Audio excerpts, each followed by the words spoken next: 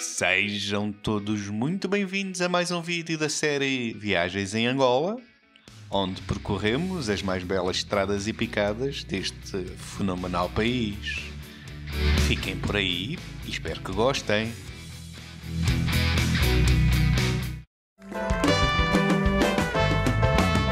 Há uma estrela que brilha no céu africano, Angola.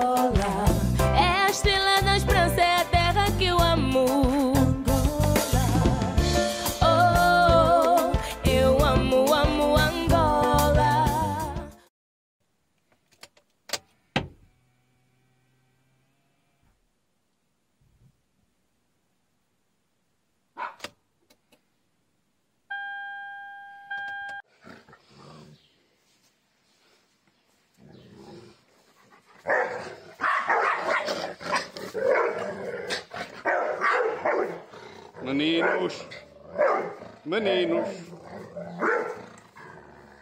Bom, seis e meia da manhã, prontos para arrancar. O encontrei às sete com o resto do grupo nas bombas da Pumangol, já na estrada de Catete. Estamos, dentro do, do tempo de planeado. Vamos embora, até o Ambo.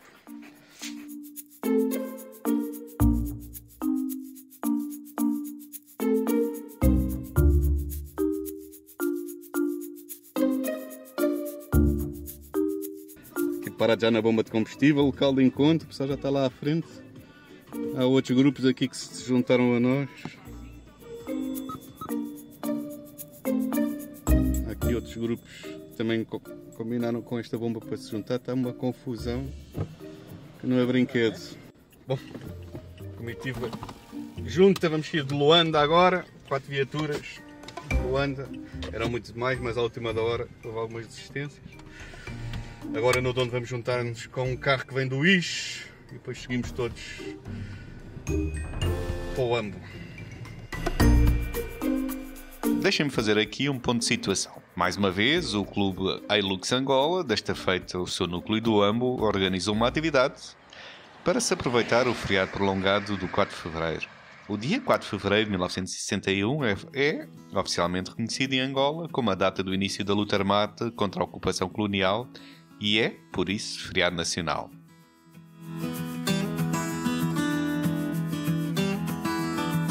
Aqui é da ECA. ECA. Aqui, do Alto Dondo. Aqui chegar 10 horas. Saiu às 8 de Luanda, 2 horas. Não está mal. Vamos agora juntar-nos aqui a, um, a mais um camarada que está a vir do IS. Se juntar aqui à comitiva aqui na bomba do, da Zona Angola aqui do Alto Dondo. E seguimos de imediato para o Ambo. Até já!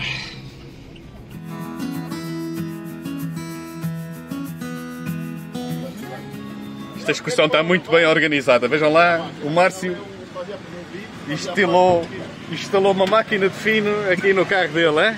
já viram isto? Isto aqui é um carro bem preparado. Máquina de fino. Nesta atividade irão participar elementos, para além do AMBO, que é quem organiza, do Lubango, do IJ e do Luanda, que é esta caravana onde vamos. O pessoal de Banguela não quis trocar as belas praias da província pelo bom clima do Planalto Central. De Luanda até o AMBO são cerca de 600 km de distância. Aqui esta zona é conhecida como os Rápidos do Kwanza.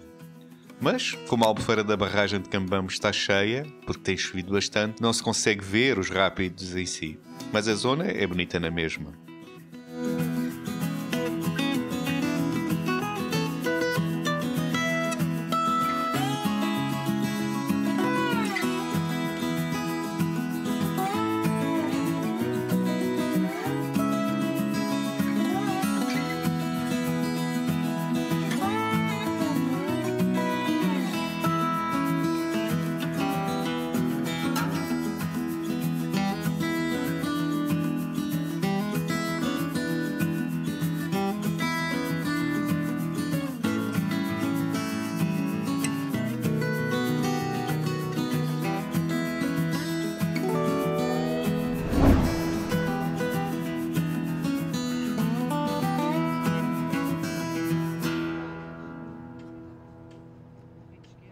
Já com a Hilux, que veio do UIS, e com mais outra, que saiu mais tarde de Luanda, a caravana agora é constituída por seis viaturas.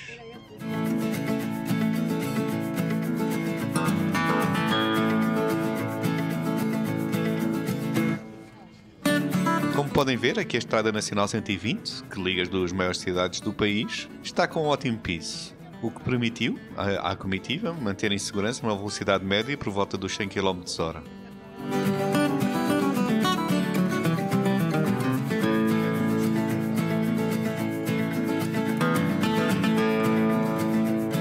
Aqui em frente é possível ver um dos grandes projetos agrícolas que tem aparecido recentemente por cá, com o intuito de diversificar a economia e diminuir a dependência do país da indústria do petróleo.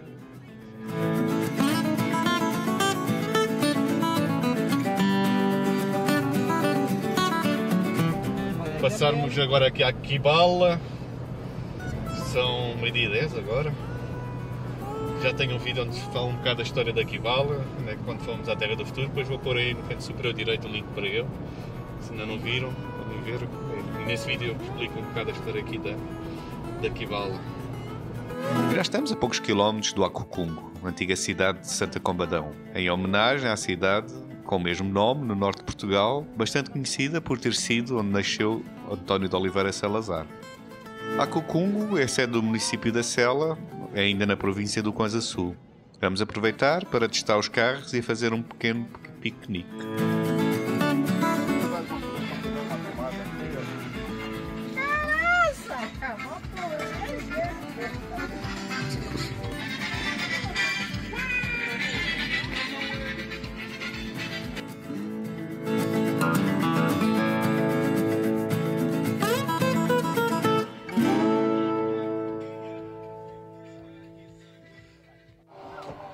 Aqui na Igreja do Acunco, antiga Celes. Já, já em tempos fui àquela capela que vinha em cima daquele morro lá em cima, já subi lá uma vez. Um caminho, bonito, e a vista lá de cima é linda.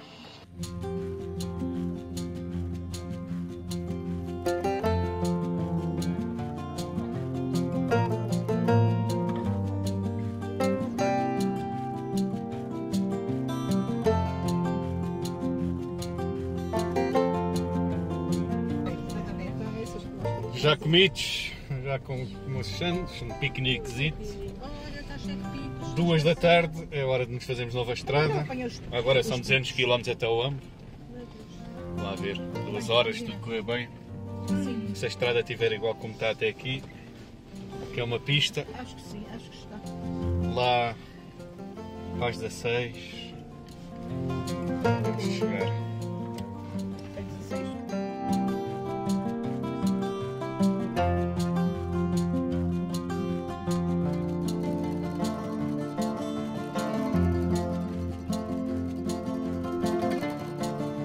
Aqui a Sela funcionou como um colonato agrícola, ou seja, o Estado dava estas casas e terrenos para produção com o objetivo de assentar população aqui.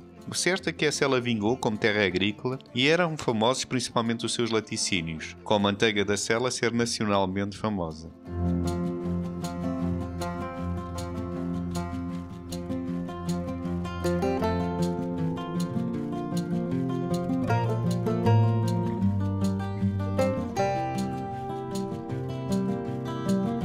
Agora aqui um pequeno cheiro do que foi o início do colonato da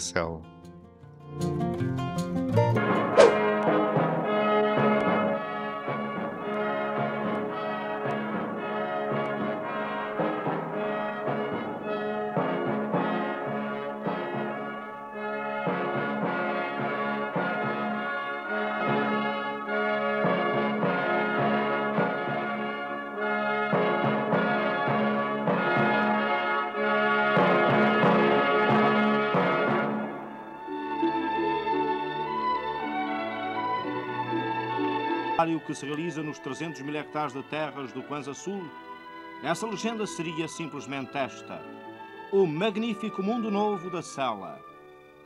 Imediatamente somos assaltados.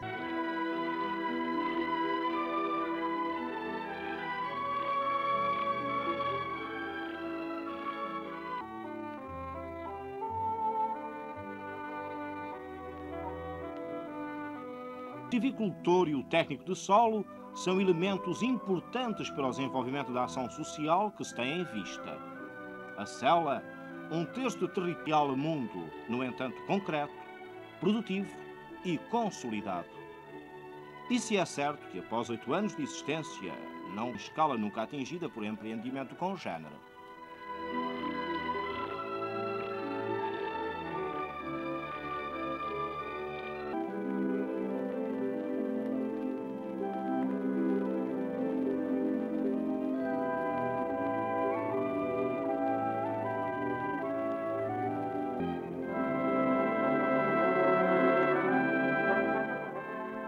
A produção da célula ultrapassará muito brevemente a capacidade de consumo local.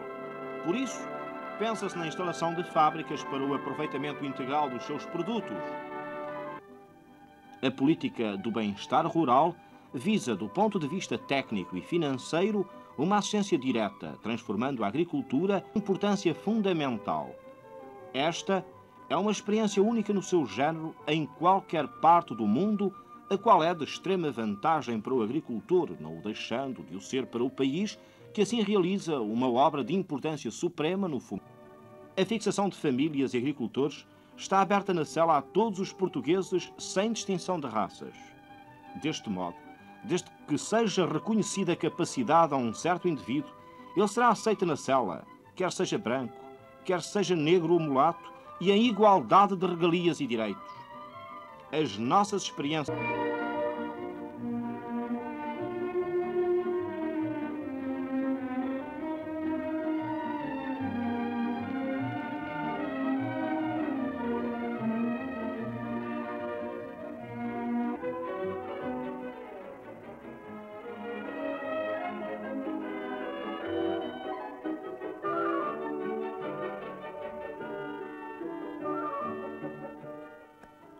Núcleo populacional mais intenso da obra de povoamento da Sela é Santa Combadão. É uma pequena cidade, airosa e alegre.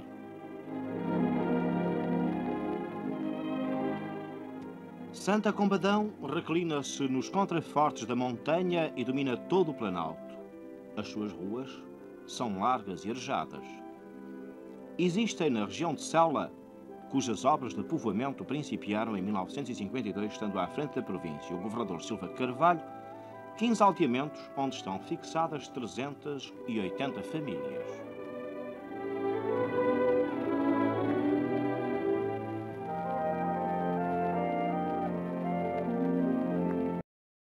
Isto para ir à nossa esquerda teve os pisos que caíram ainda para isto. Possivelmente deve ter sido durante a guerra. Quando fui a Silva Porto, estava assim, a maior parte dos era assim, as pessoas viviam, e as pessoas não viviam no restante parede que, não, que estava direito.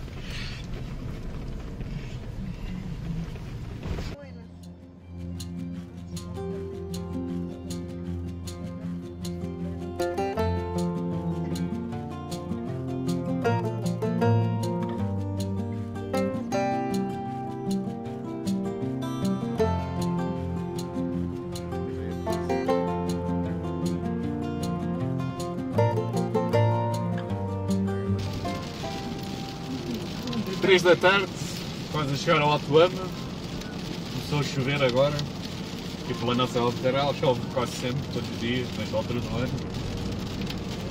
Vamos lá ver, também tão depressa chove como para de chover e passado pouco tempo já está tudo seco.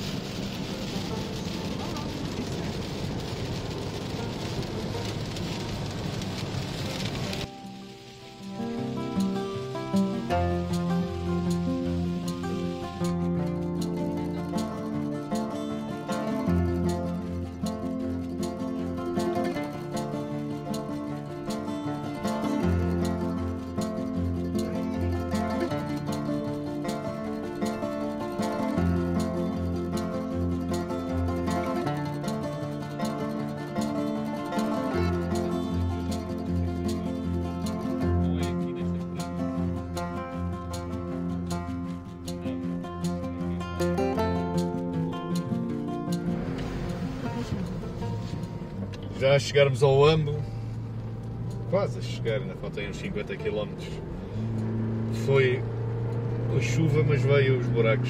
Esta zona aqui já tem muito buraco. Agora tem que acalmar um bocado, mas volta meia volta por cada cratera que aparece.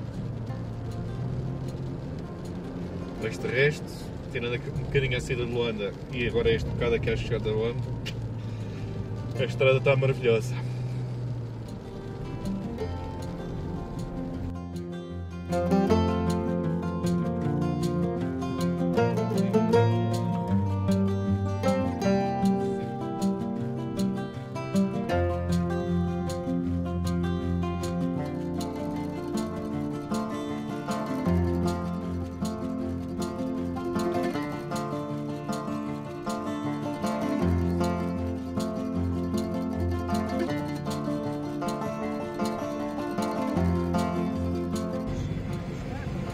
Ao Ambo! A entrada, a entrada do Ambo. Sim, a entrada do, do- da cidade de Alcatrão. Vamos passar ali a linha férrea à frente.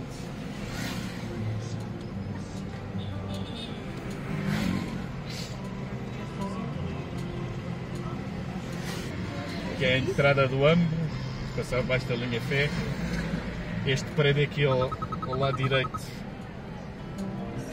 no- nos conflitos, levou com, com uma bazucada, partiu o pilar, está o pilar suspenso, mas o resto do pessoal ainda continua a morar nele. E agora já nem sei quando é que os meus foram. Aqui é a avenida principal, o Lucaná é aqui à esquerda.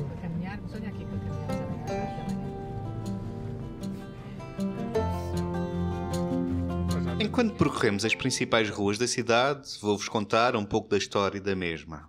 A cidade do Ambo não nasceu e cresceu como é normal, mas foi criada por um diploma legislativo de 8 de agosto de 1912 que cria a Vila do Ambo, utilizando o mesmo nome de um antigo forte militar, o Ambo Cabral Moncada, que já existia nesta zona. Logo a seguir à recriação da Vila do Ambo, a Portaria Provincial número 1086, de 21 de agosto de 1912, proibiu nela a construção de casas de adobe, pau a pique ou de outros materiais semelhantes, o que mostra uma preocupação arquitetónica logo desde a sua fundação. Foi encomendado ao engenheiro Roma Machado a elaboração da primeira planta urbanística da localidade, separando as funções político-administrativas na parte alta e as económicas na zona da única estação. Há uma ligação intrínseca entre a cidade e o caminho de ferro de Benguela. Somente em 1921 é que o Ambo deixa a categoria de vila e passa à de cidade. A 1 de setembro de 1928, o então governador Vicente Ferreira muda-lhe o nome para Nova Lisboa e faz publicar em boletim oficial a designação da cidade como nova capital de Angola. Mesmo que nunca tenha tornado-se capital de facto, permaneceu como capital de juro de toda a colónia até 1950. Em 1943 foi inaugurada a Rádio Clube de Nova Lisboa, a mais notável das emissoras Rádio Clube de Angola. A mesma emissora logrou o feito de lançar a era televisiva no país em 1962, numa transmissão ao público na Feira de Nova Lisboa. A TV Nova Lisboa teve curta duração, porém reforçava a visão de um período áureo da cidade. No final da década de 1940, a cidade ganharia um novo plano de urbanização extremamente arrojado, com logadores amplos e grandes jardins, o que lhe deu na década seguinte hotéis, livrarias, cinemas, lojas e novos edifícios públicos, além de efetivamente iniciar o processo de industrialização local com a montagem das oficinas do Caminho de Ferro. Na década de 1970, a cidade rivalizava com Luanda pela predominância económica da colónia. A 11 de novembro de 1975 foi proclamada pela UNITA na cidade a independência da República Popular Democrática de Angola, RPDA, com as capitais em Noambo e em Ambris. Era um governo rival ao da República Popular de Angola, que havia sido proclamada independente pelo MPLA em Luanda. Três meses depois de proclamada, em 11 de fevereiro de 1976, a cidade do Ambo já estava sob ataque do MPLA, com o apoio das tropas cubanas, com o governo da RPDA declarando-se em exílio. O Ambo deixava de ser capital. A cidade foi local estratégico, estando em disputa desde os primeiros momentos da independência de Angola.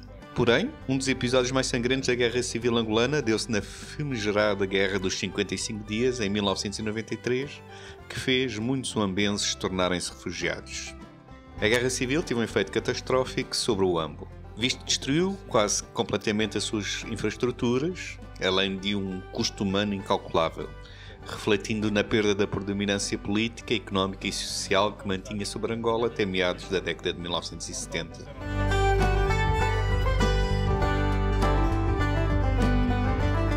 Já reunidos com os membros do AMBO, vamos dar uma pequena volta pela cidade para ver as principais atrações. Aqui é a nova centralidade da cidade, mas quero desculpar o pessoal do AMBO, mas o Quilamba em Luanda é bem mais bonito que a vossa centralidade. Vamos agora visitar o aeroporto da cidade, que foi recentemente remodelado e que tem o nome de Albano Machado.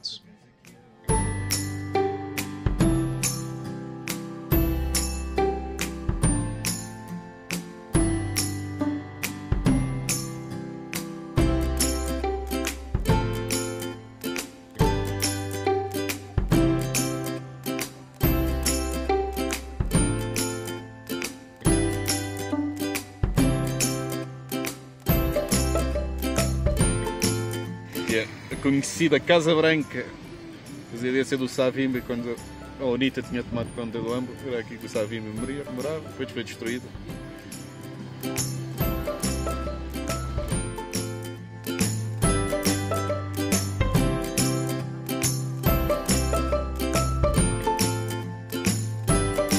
Mais uma pequena paragem ao pé do liceu e como já se está a fazer tarde, é hora de rumarmos para o nosso hotel.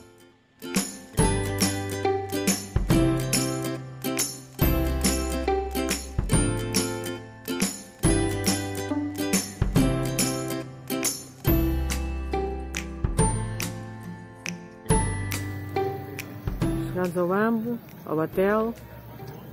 Tem residências e tem quartos. Nós vamos ficar numa residência, estamos à espera que nos atribuam a nossa residência. Está frescote.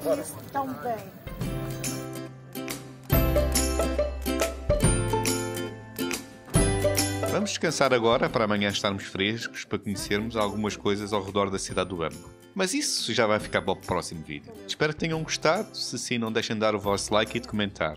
Se ainda não são inscritos, não se esqueçam de carregar no botão de subscrever e pressionar o sininho. Assim o YouTube irá-vos informar sempre que houver novos vídeos aqui no canal.